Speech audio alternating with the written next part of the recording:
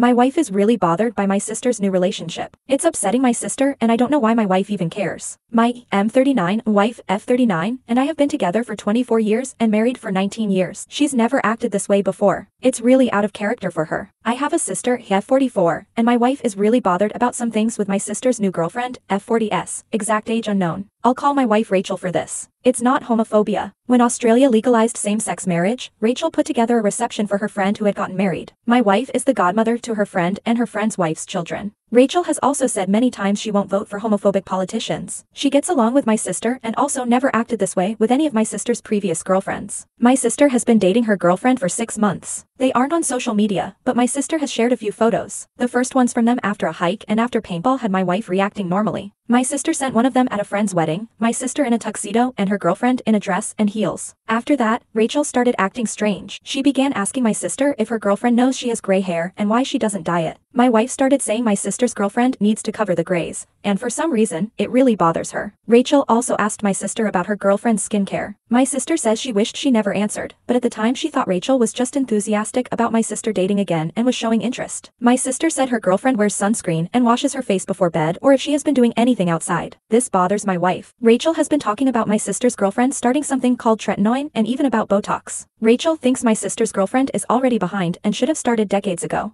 I don't know what that even means. Rachel says there is no reason my sister's girlfriend shouldn't use tretinoin. Rachel has a 4 to 5 step skincare regimen in the morning and another in the evening. She takes it seriously, but I know not everyone does. The other thing that bothers my wife is that my sister's girlfriend has not had makeup on in any of the photos we've seen. My sister told me that her girlfriend works in a facility that sterilizes medical tools and equipment, and you can't have cologne, polished nails, makeup, or anything scented inside. Apparently, they all have to dress in gowns and visors or biohazard suits. It's taken seriously, and if you wear cologne or makeup, you will be sent home. I didn't know this was a thing, but it makes sense that the environment must be sterile. My sister says her girlfriend doesn't own makeup. Rachel wants to buy her makeup and take her to get her hair dyed. I don't know why this bothers my wife so much. I've never seen her act this way towards anyone my sister dated or anyone else. My sister doesn't wear makeup. My sister has a buzz cut, but if she let her hair grow, I'm sure there would be some gray. Rachel has never said anything about my sister or anyone else having gray hair. She's never said they need tretinoin or Botox. I don't know why Rachel is so so bothered about someone she's never met or spoken to having gray hair or not wearing makeup. My sister is getting upset about the way my wife is acting. If I try to address it with Rachel, she says, it's just not done, and my sister's girlfriend needs to dye the gray or wear makeup. If I point out that just because my wife dyes her hair or gets Botox, it doesn't mean everyone needs to. My wife just says I don't get it. I swear I've never seen my wife act this way. My sister is upset at my wife, but my wife keeps pushing. I don't know why this bothers Rachel so much, but I wish she would leave it alone.